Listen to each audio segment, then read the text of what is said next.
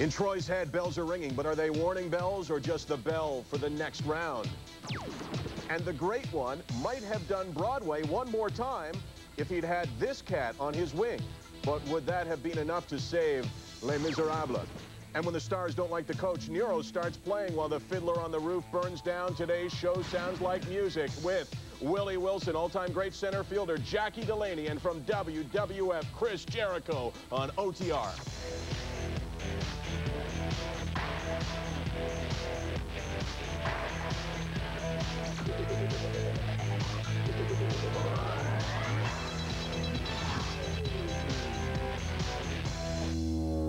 Off the Record with Michael Landsberg is brought to you by the Keg Steakhouse and Bar. For great steaks, good friends, see you tonight.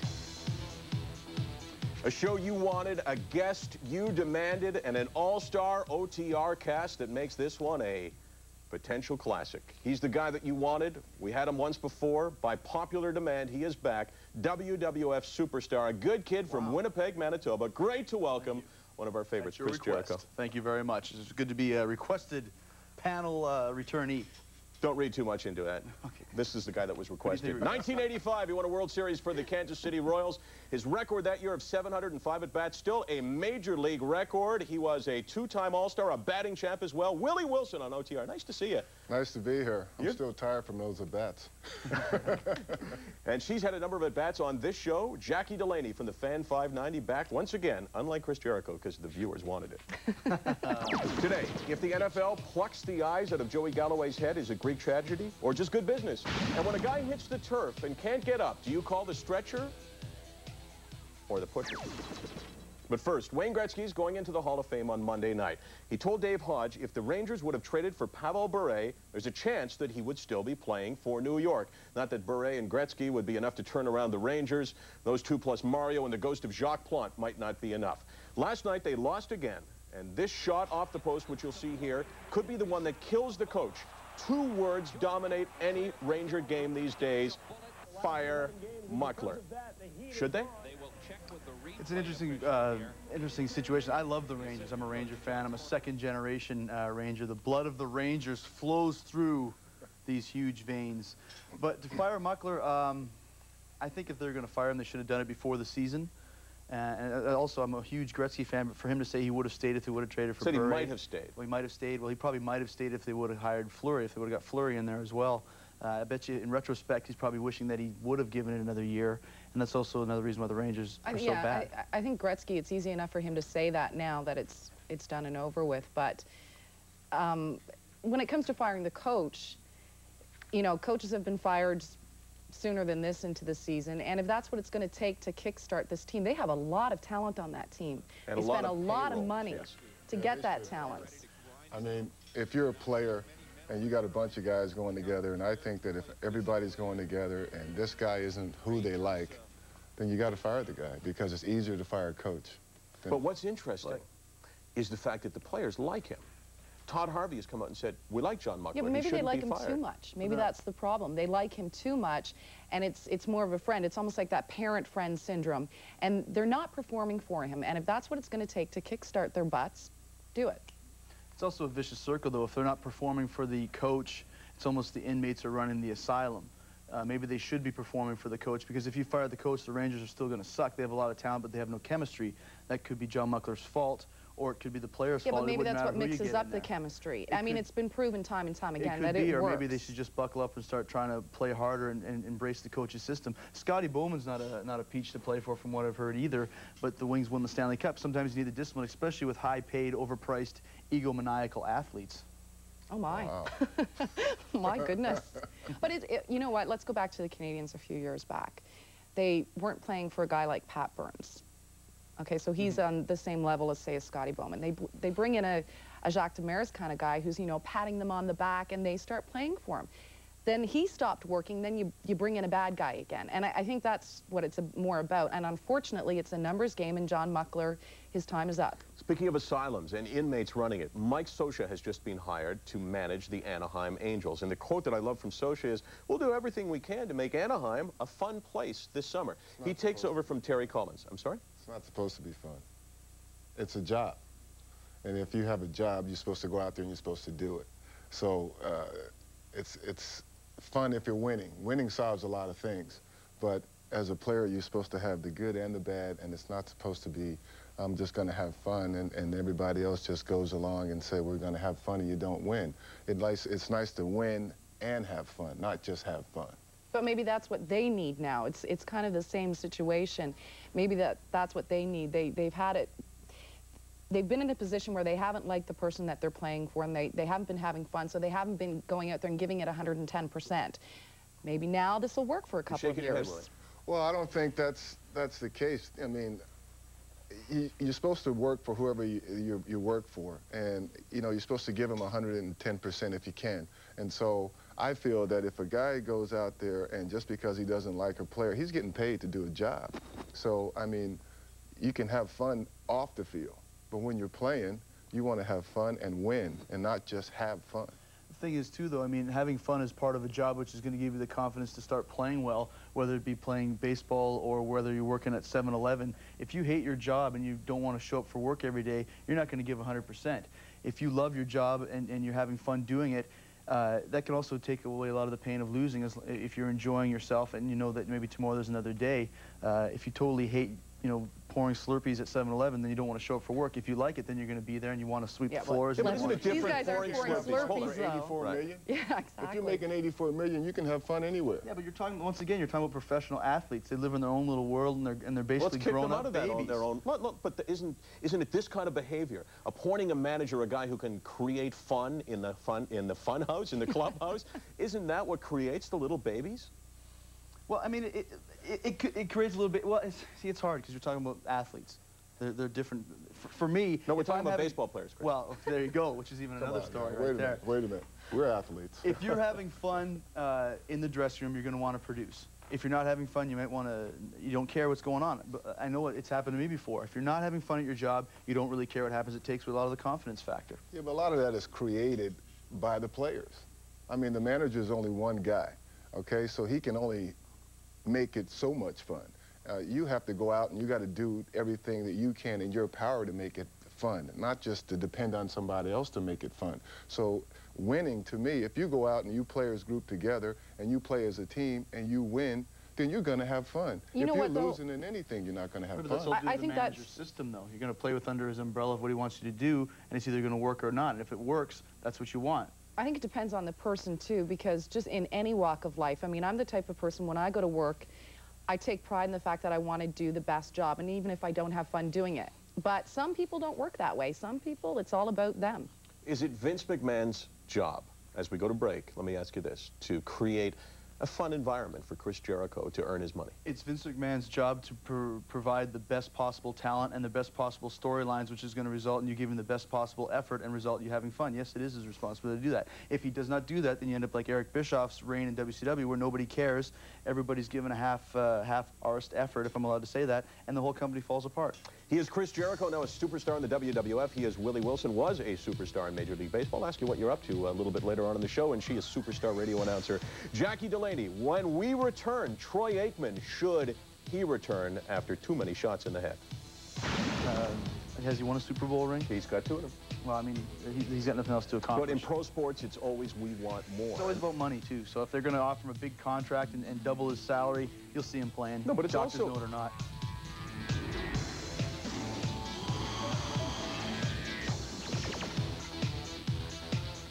You know, in so many ways, I feel like this is my playing field, uh, and it's so important that all of you have fun. Is everybody having fun? No. You're not having I'm fun? not having fun at all. Your questions are horrible, your presentation is terrible, and your guests have been ridiculous. Oh, wait, no, hold up there. wait a minute. Excluding me. Now you're getting out of hand. you can pick on I'm him. sorry, what did you say? Egomaniacal? What? Egomaniacal. All right. He's going to hit me with his, with his World Series ring and knock me right out, so I better be quiet. Let me tell you about Troy Aikman. Troy Aikman continues to be uh, hurt for the Dallas Cowboys. The Cowboys are 5 and 4. They play Arizona this weekend. A lot of people feel when they start to get healthy, Troy Aikman could conceivably, if he's playing, lead them to some definite uh, impressive postseason performances. Here's the question I have for you. Two concussions in less than a week, seven in his career, even if the doctor gives him the go-ahead to play, is it time for someone to step back and say, Troy, hey, I'm looking out for you, don't return? No, I think it's up to Troy. And I think if Troy gets a doctor's opinion, if Troy uh, has a family around, then Troy should be able to make the decision that he wants to uh, play or not play. Yeah, I think it's up to those closest to him and him. It's, I mean, it's ultimately his responsibility. We're all responsible for our own well-being. But he also has a responsibility to his team and to his fans. I mean, if he gets a doctor's clearance, then the doctor's saying it's okay for him to play and he should get out there and perform for the people who pay his salary. You think he should get? No, I think it should be his decision. Well, if the doctor says that he's okay, then then yeah. But see, that's the problem with playing. concussions, and that's why it's always been kind of an, an iffy situation. With concussions, it's not tangible, like you know, it's it's not there for you to see. And I think that's why, too, in years past in, in hockey and football, so many guys now are starting to realize just how much damage they have done to themselves. So and it's because it's not tangible. That's right. So if he, if he feels he's ready to play, then he should play. But just to have the doctor say, go play, because all doctors aren't right, obviously. No, That's the thing. Know. And, and, you know, suppose a doctor says, yeah, you're cleared to play. Would we feel as though he let down the Dallas Cowboy fans if he says, no, I'm going to retire. I'm going to step back and go, even though I'm getting the clearance. Would we feel like he'd let them down? The fans probably would. Yeah, but... And doesn't that create enormous pressure? Well, fans always want more, and, and he's probably reached the peak of his career, and he probably has, what, two, three more years left to begin with anyways. So, um, obviously, I, I think if the doctor says it's okay for him to play, well, then it's obviously, of course, it's his final decision. If he hadn't accomplished as much as he had, uh, has he won a Super Bowl ring? He's got two of them. Well, I mean, he, has got nothing else to accomplish. But in pro sports, it's always we want more. It's always about money, too. So if they're going to offer him a big contract and, and, double his salary, you'll see him playing. No, but it's Doctors also, know it or not. it's also the expectation of, of pro athletes not feeling pain, pro athletes feeling superhuman. We, as fans, demand that our athletes play through pain. Yeah, and they always say the athlete's the last one to, to recognize it. But I think nowadays, because a lot of guys are getting so much money, they seem to recognize things a little quicker. And uh, if I feel that if he's not ready to play, then he should not go out there, no matter what the doctor says, no matter what the fans say.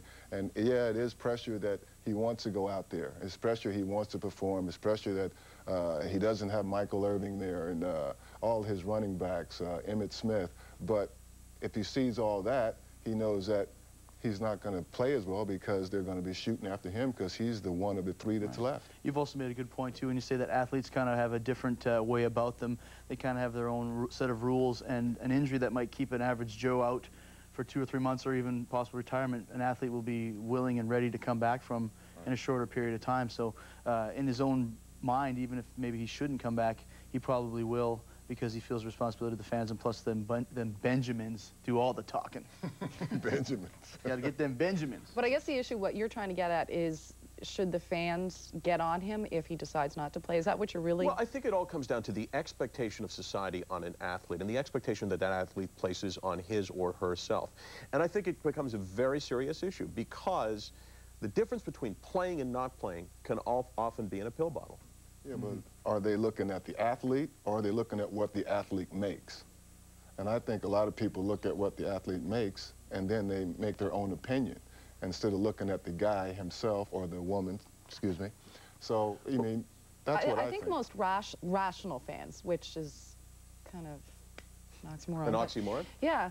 Um, but I think most rational fans, the way they look at it, really depends on the athlete. Like someone, when someone like Elvis Stojko goes down with a groin injury, people really believe that he wasn't able to go out there and, and do it. Uh, now, if, if it's the type of athlete that it's like, you know, this thing one day, this thing another day, I think they're going to kind of look at it like, well, yeah, here he goes right, again. But, but, also, as, as much as Aikman has contributed and much as he's accomplished, if he did decide to retire, I don't think you see too much of a backlash. No, I don't either. No. All right. Backlash. Maybe not for Troy Aikman, but for an assistant coach at St. John's University in soccer, the backlash cost him his job simply because he said, I don't want to wear the swoosh when OTR returns. Is he that hard up for money that he has to wear cause this much problems by putting stickers under his, his face that says, you know... Uh, yeah, but, well, I know that when you... Stridex When you got your batting gloves and you show it in the paper, they send you five extra grand.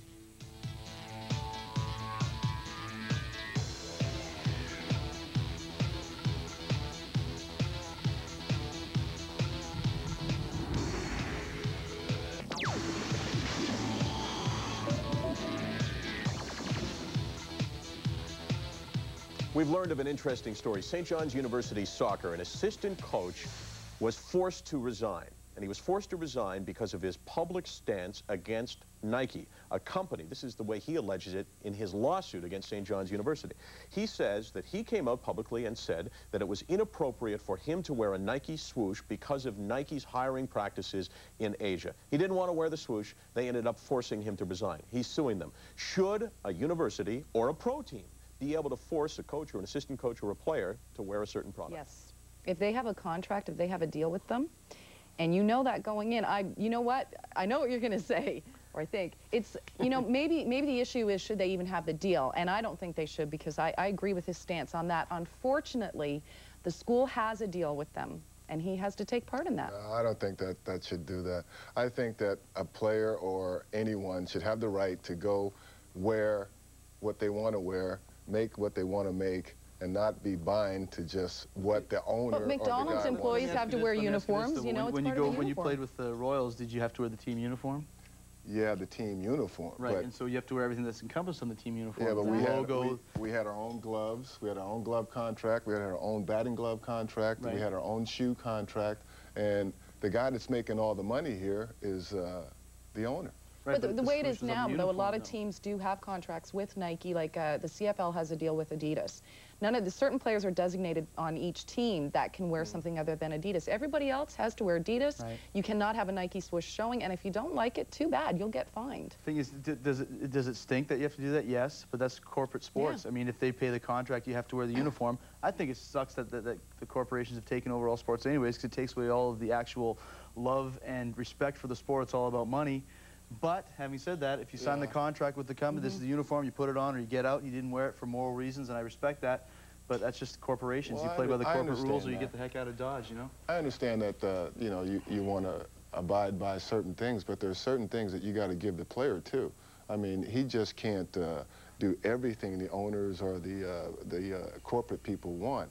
And I just feel that if you don't give him his little bit of rights, then he's not going to be happy. Back to that. Well, what's interesting is we're talking uniform, but there's a very complex situation that exists, or the NFL doesn't think it's that complex, with Joey Galloway.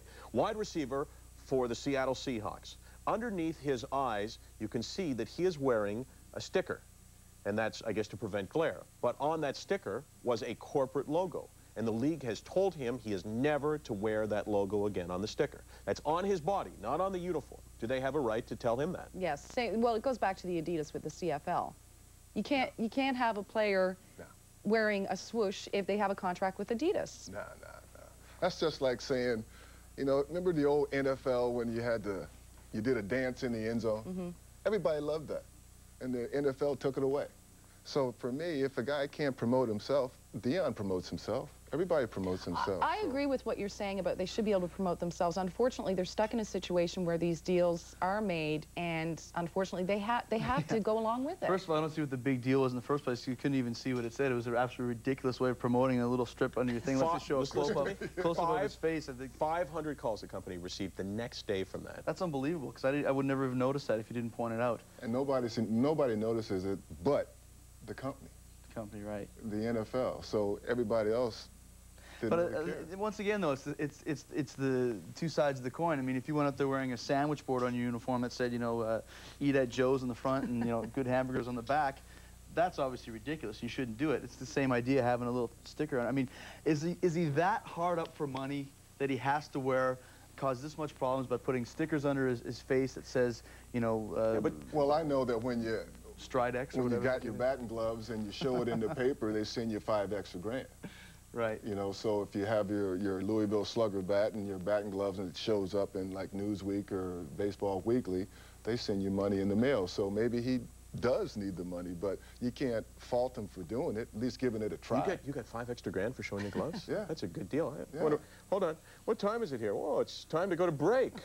Right. And uh, as we go to break, I'll always tell our viewers that we want to know what you think of the show and the issues. Michael, is it true? Is it happening Tuesday? I don't believe it. I've been waiting for over a year. Gene and Liam, round number three. Now I can rest in peace, which may be what Liam says when he's on the show. Thank you very much. yes, Gene Mack, Liam McGuire. Negotiations have taken place for over a year. It will happen. There's our website. There's our email. There's our fax number. Here's why we want him back so badly. And I'm a What's that? You gotta put you a verses in the middle of that. a I lot think it of- was almost inherent on those two names. Ah, okay. You directing the show or just a No. I'm not. I didn't even know we were on the air, else I wouldn't have said anything. So Usually when I start might want talking. to edit that far. Okay. Jackie Delaney, what's up with you? The website, as always, anybody uh, across Canada, across the world actually can tune into the fan. It's fan590.com, and it's a new improved in connection with Slam Sports. Willie Wilson, thanks for joining us. What a pleasure to meet you. Never got the Appreciate chance uh, when you were playing. What's up with you? I'm a chairman of uh, Digital Communications. Uh, we design cordless home phones and caller IDs, and uh, we're right here off Leslie. I still hate you from 85 Oh, when your Royals beat the Blue Jays, but you're a nice guy. Thanks for joining us. Chris Jericho, uh, lots of things going on, of course, with the WWF. Yes, uh, tomorrow Skydome at 5 p.m. It should be a sellout, so if you don't have tickets yet, you need to get one to come down and see Canada's newest superhero, Y2J in Is action. Edge coming? Oh, sorry. Oh, gee, you son of a. Uh, and then we're also down in uh, Mississauga at the Toys R Us, so uh, bring all your Jericho toys down, and uh, no Edge toys, though, and no Michael Landsberg dolls either. Oh, wait, there isn't any. like I'd really want a doll. yeah. Just there's a big difference between playing with them, buddy, and having them named after you. Stone Cold did not wrestle in the Survivor Series. Will he come back?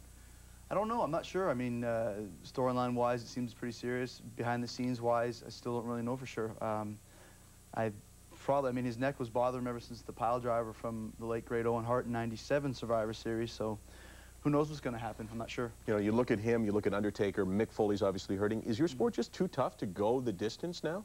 Uh, in some ways, yeah. I mean, you look at guys.